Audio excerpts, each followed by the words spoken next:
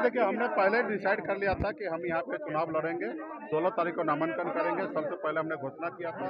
आज हमारे प्रत्याशी नीलाभ जी का नॉमिनेशन हो चुका है और मजबूती से हम लोग पुरानी विधानसभा में लड़ेंगे और चुनाव जीतेंगे और पूरी शक्ति के साथ लड़ेंगे।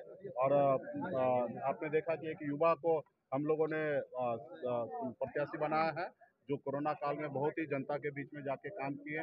और इनका एक अपना विरासत रहा। इनके नाना जी चार चार बार पुरानी विधानसभा से विधायक रहे हैं। ऐसे शख्स थे कि अकेले निर्दलीय भी चुनाव जीत चुके हैं।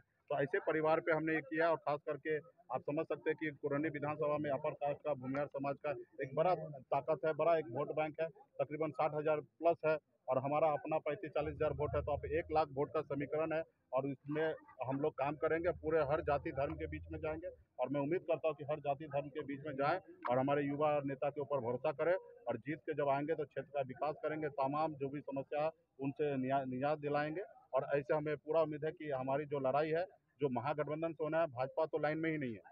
क्योंकि आप देखिए कि जो समीकरण की बात होता है तो आज हमने उस तरीके से भूमियार समाज पे हमने जो जिस तरीके से भरोसा देता है हमने इनको टिकट भी दिया है हमने इनको वोट भी देंगे और पैसा भी चंदा करके समाज के लोग देंगे और इनको मजबूती से चुनाव जिता के और जनता के बीच में पेश आप हमेशा अति पिछड़ा कैंडिडेट की बात करते थे और खुद भूमिहार समाज से लाने वाले आप देखिए, आप जी निश्चित तौर पे अति पिछड़ा समाज के लिए निशा समाज के लिए हक अधिकार के लिए लड़ाई लड़ते लड़ते यहाँ पे आए और हमारी एक पॉलिटिकल पार्टी है। और पॉलिटिकल पार्टी जो होता है और कैंडिडेट जो होता है, वो वोट से चुनाव जीतता है, ना ही कि अकेले अपने दम पर। तो आज आप बताइए कि अगर मैं सिर्फ़ निषाद को अगर टिकट देता तो वो चुनाव कैसे जीतता? वो जीतता नहीं कॉरम पूरा हो जाता। हमने यहाँ पे ऐसे प्रत्याशी को दिया, जो चुनाव हम जीत सकते हैं तो इसलिए हम लोग यहाँ पे लड़े हैं।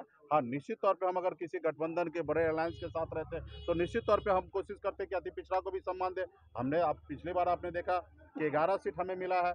हमने हर जाति समूह को हमने टिकट दिया, हमने दलित को टिकट देने का काम किया, हमने बनिया को टिकट देने का काम किया, हमने निषाद को टिकट देने का काम किया, हमने यादव को टिकट देने का काम किया, हमने ब्राह्मण को टिकट देने का काम किया, हमने भूमियार को टिकट देने का काम किया, हमने राजपूत को टिकट देने का काम किया। तो पार्टी जो होता है वो एक जात का नहीं होता। वो हर जाति धर्म को, क्योंकि हम वोट जो है, हर जाति धर्म से उम्मीद करते मिले। तो उसी तरीके से टिकट भी हर जाति धर्म को दिया जाता है। और मैं तो अभी वादा भी करता हूँ, खास करके मुजफ्फरपुर के अपर कास्ट भूमियार समाज से कि आप पे हम भरोसा किए हैं आप पे मुझे पूरा यकीन है कि आप हमारे नीलाभ जी को जिताएँगे और अगर जिताते हैं तो मैं आपको 2024 में बड़ा गिफ्ट दूँगा पूरे बिहार में। एक सीट लोकसभा हम भूमियार समाज को लड़ाएँगे अगर हमारा किसी पार्टी से